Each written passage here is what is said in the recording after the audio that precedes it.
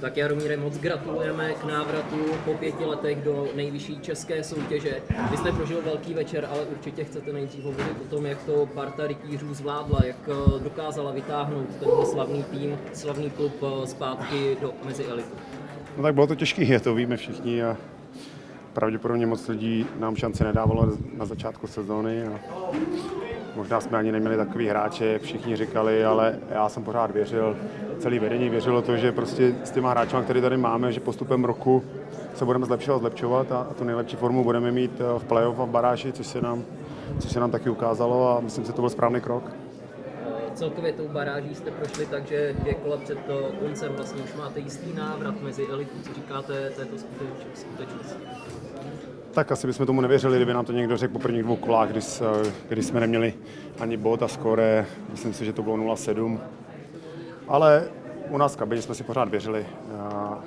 Jsme věřili, my jsme věděli, že jsme nehráli špatně, akorát jsme nehráli moc chytře a hráli jsme moc otevřeně a nedávali jsme šanci a extraligový týmy nám dali prostě školu, kterou, kterou, kterou nám se dá říct, nám relativně pomohly první dva zápasy a pak jsme se trochu poučili a začali jsme hrát úplně jinak.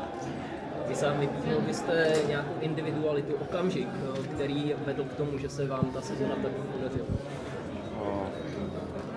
Asi, asi, asi všechny čtyři liney, prostě to bylo od začátku, i když určitě tam bylo spousta hráčů, kteří měli, chtěli mít větší ice tam, ale já jsem se to snažil držet v normách a, a snažil jsem se jich vysvětlit, že na to, aby si hrál agresivní hokej po celých 60 minut proti extraligovým týmům, tak prostě musíš mít čtyři pětky, které budou mít krátké střídání a budou každý střídání na doraz. Nemůžeš hrát na dvě, na tři liny. To, to se prostě nedá zvládnout v těch klíčových momentech a ukázalo se, že to byla pravda. No. Prostě my, my nemáme tak trpělivý hráče, máme jinou kvalitu, máme jiný systém, takže my musíme hrát agresivně celý utkání a na to potřebuješ ty čtyři liny a musíš na to mít dobrou fyzičku, což si myslím, že jsme měli.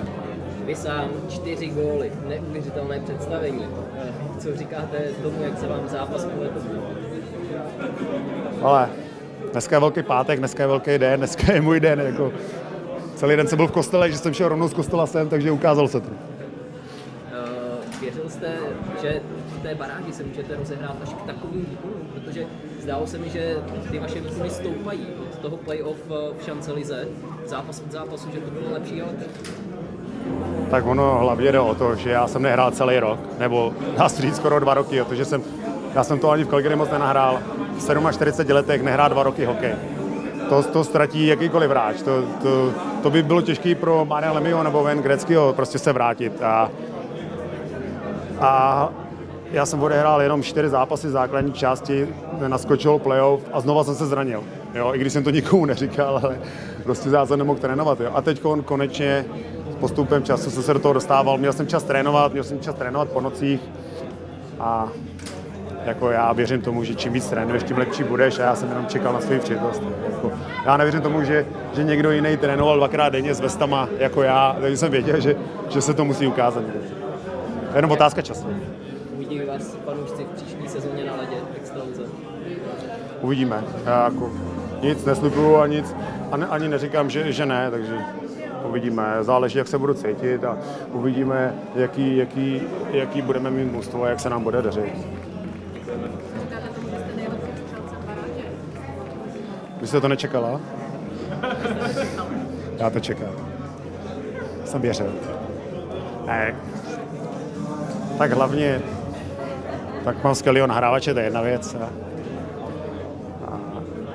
Láďa Zygmunt je skvělý bojovník, takže všechny puky vy, vybojuje plekimu, ten mi to nahraje a, a já po nocích jsem trénoval střelu, takže takže jsme se doplňovali. No. Ale je to o štěstí. No tak máme některý hráči, kteří jsou podepsaný a je spousta hráčů, který podepsaný ještě nemáme. A bych byl velice rád, kdyby jsem se se spousta hráčů nebo s většinou hráčů domluvil. A samozřejmě víme, že to je biznis, a uvidíme, jaký si budou klát podmínky a co my můžeme, co my můžeme pro to udělat. A já tomu musu věřím. I v takovém složení, jako máme teď. Věřil jsem mu vždycky, i když všichni říkali, že jsem blázen, vždycky jsem mu od, od první minuty první, prvního zápasu jsem věřil, že to mužstvo to může udělat.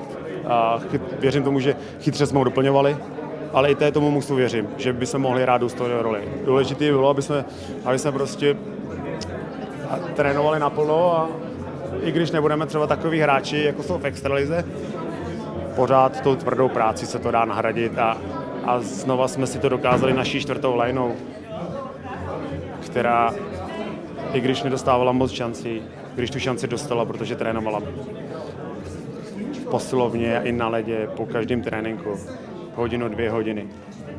A když tu šanci dostali, tak ji využili a, prostě, a, a byli schopni hrát proti komukoliv a hráli výborně, takže opravdu je to jenom o té tvrdé práci.